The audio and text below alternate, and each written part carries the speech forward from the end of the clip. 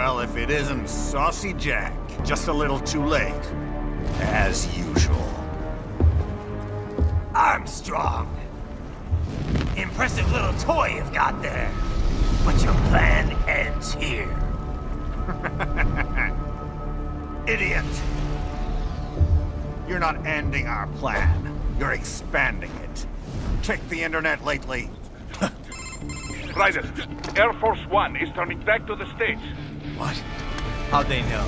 Someone posted photos of what's happening on the base. The whole world is up in arms. Show me. How did they?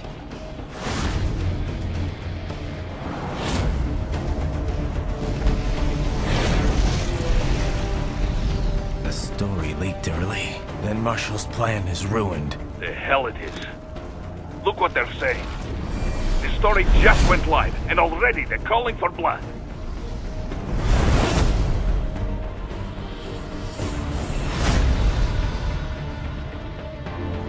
But the president was saved. And yet American blood was spilled. By Americans. Besides, a few dozen soldiers is tragic, but nothing to start a major war over. That's just the spark, son.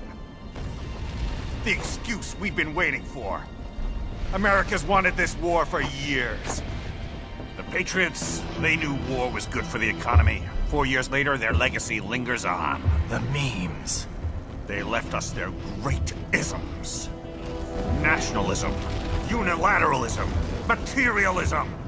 Welcome maxims for those with no faith, without guiding principles of their own. Give yourself up to the whole. No need